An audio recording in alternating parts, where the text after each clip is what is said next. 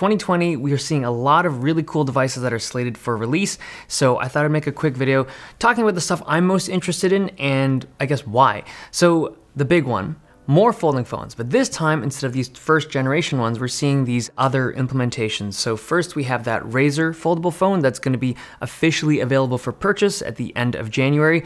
But way more interesting to me is the idea of that Samsung clamshell foldable. So they showed the technology a couple months ago, but they're supposed to be releasing their version of a clamshell foldable phone at MWC in February. And the reason why I'm more interested in that phone than say something like the traditional Galaxy Fold is that I've played with the big fold, like the big boy $2,000 Galaxy Fold.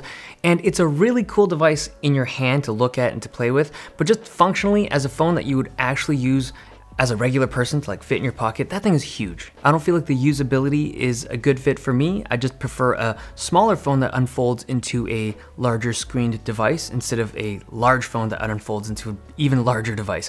But also, that Samsung clamshell is supposed to be coming out at around an $800, $900 price point, which is way more affordable than the $2,000 big boy Galaxy Fold. And if you think about like just adoption, that sounds like it'll move the needle for adoption of foldable phones.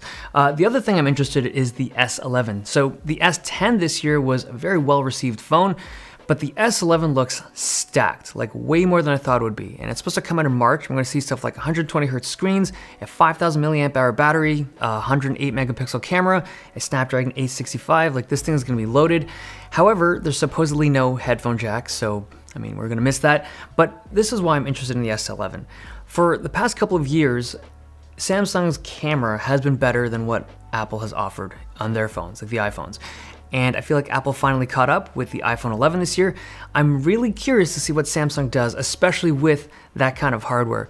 Now, I don't know how I feel about the cluster of cameras that we're seeing on the back of all the renders. If those renders are accurate and the S11 does look like this, I mean, it won't be my favorite design aesthetic, but maybe I'll get used to it. I think it's just, it's become a thing. Ever since we've seen like a few big flagship phones with a group of lenses on the back, and now it's a thing. Uh, other stuff I'm interested in, cameras. So there's two kind of production cameras I'm interested in. First is that new Canon camera, the 1DX Mark III. But the big one for me, the thing that I'm like most stoked about is the new red camera that's coming out. It's the red Komodo, and it's like this cube body that's smaller, lighter, higher res, and cheaper than the current red camera they shoot off of. So I'm pretty excited for that. I hope it's not crazy expensive because I really want to pick one up. Uh, and then later on in the spring, or maybe even the summer, we're gonna see new laptop GPUs from NVIDIA. So these are gonna be like the RTX Super laptop GPUs, you're not gonna see massive performance gains at the top end, but it's more important at the bottom end. Like this year alone, we saw some really great performance in like the $900 price point for gaming laptops, and a bump up in performance at that price point is gonna be really nice. We should be able to see some very high performing laptops at the $800, $900 price range. Okay, the thing that I'm most interested in though, for 2020, the upcoming iPhones. Like this year's iPhones were really good, but just not attractive enough to me to purchase one for personal use. So they're supposed to come out with five iPhones next year. So the first one's gonna be the iPhone SE2 or whatever they wanna call it.